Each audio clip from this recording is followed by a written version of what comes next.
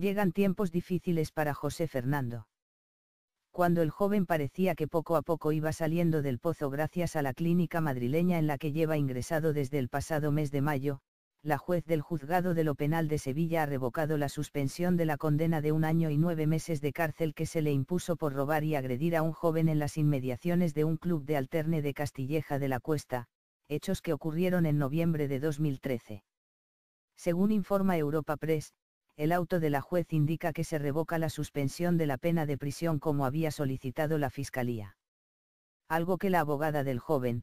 que ya ha recurrido la decisión, considera gravemente perjudicial puesto que el hijo de José Ortega Cano ahora mismo está rehabilitándose y puede verse interrumpido ese proceso. Asimismo, la letrada también considera que la decisión se ha basado en la comisión de otros hechos delictivos que se produjeron posteriormente. Entre ellas la de saltarse la orden de alejamiento contra su pareja Michu en varias ocasiones, provocando en una de ellas momentos de tensión en el hospital en el que ella estaba ingresada como consecuencia de su embarazo. Precisamente la joven ha sido noticia estos días por haber salido en una revista posando junto a su hija María del Rocío y asegurando que se casarán el próximo verano y que su petición de matrimonio se tuvo que producir por teléfono puesto que es el único medio por el que se pueden comunicar ahora mismo. Llegan tiempos difíciles para José Fernando.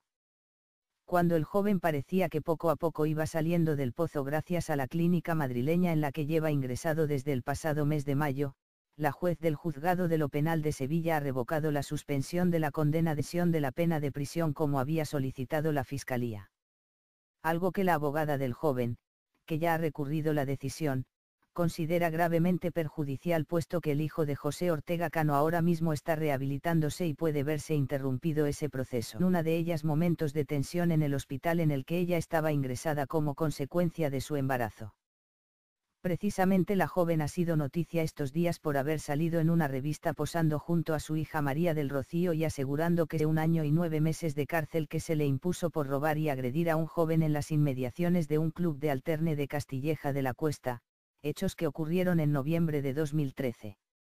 Según informa Europa Press, el auto de la juez indica que se revoca la suspensión.